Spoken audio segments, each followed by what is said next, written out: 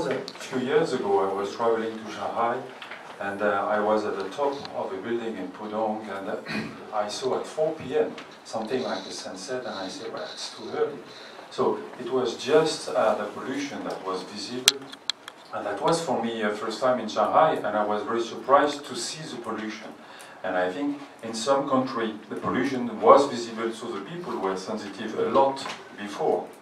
But suddenly we had also our pollution events this is Paris with the Eiffel Tower, you can see. So now we have in all big countries pollution becoming visible.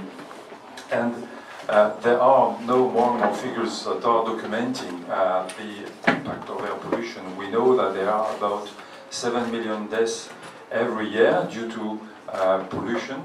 Uh, there are more than $200 billion uh, of cost on the human earth and uh, there are less than 5% of people worldwide that are not exposed to overpolluted air. So it will grow and grow, and we expect in a few years to have uh, about 1% of the GDP uh, that will be uh, impacting uh, human health. So we are all exposed to pollution. There are many, many sources, of course. Uh, mainly, we can consider that in the outdoor air, uh, the industry is a carrier for pollution, uh, the chemical industry and the, uh, the energy in industry using coal, using petrol, using gas combustion.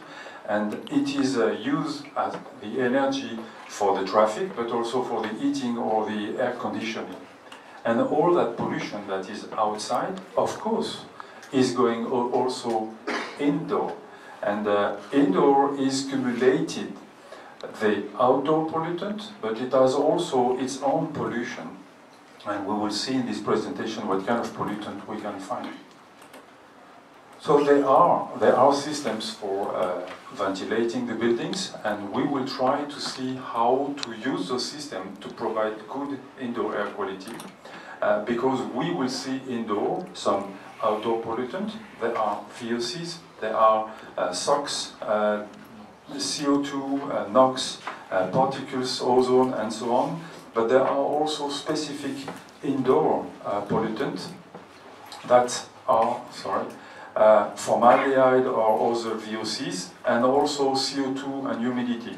Humidity is not a pollutant at all, but it is a, a good condition to create a moisture development. So this is a building pollutant. Uh, so if we wish uh, to monitor uh, indoor air quality, what kind of parameters should we follow? There are a lot of sensors, and it would be nice to have one station that can uh, have a complete uh, understanding of the, of the pollution. So, of course, uh, particulate matter is uh, the one that has the biggest impact on human health, so it will be required to follow uh, PM. PM, depending on the size, uh, will be PM 2.5, PM 10. And we have uh, more and more uh, PM1 sensor, so we are now able to monitor uh, PM1 uh, pollution indoor and outdoor, of course. We will also be able to uh, monitor atmospheric pollutants like NO2 or ozone that are really related to, to the traffic or SOx.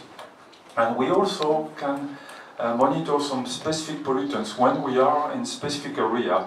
For example, uh, ammonia, perchloroethylene that is coming from the dry cleaning, uh, VOCs when we are close to, uh, to, to uh, chemical industry or benzene. Um, and of course we will uh, try also to monitor indoor pollutants. PM2.5 also comes from, from indoor. They are not only the outdoor particles that comes in, it comes from the cooking, it comes from uh, some activities, human activities. We will have also the CO2 uh, and the CO, uh, carbon monoxide is coming from bad combustion. And also we will monitor VOCs, but all VOCs are not. In DPS Dwarka, we provided table lamps to the students, boys hostel, girls hostel, LED. There were a lot of complaints. Then we replaced with incandescent lamps. They were comfortable. A. B. Your group is available for study in DPS schools if we want. This type of study you have done. Yes, sir. If we take your services, Mm -hmm. whatever already you are paid, are you available? Uh, I'm already working in Delhi University, so I'm a assistant professor, but I'll be willing to associate with you in case if there is any. First part, please the uh, uh, color part because because the students they, they prefer more of you know colorful light and brighter light. So probably that might be the reason but I have I have no no, no main reason was effects are also no, main reason was because of the glare. The yeah, students who are complaining they are getting glare. Then we put some filters over them then they feel somewhat comfortable. So this has to be approached professionally rather than just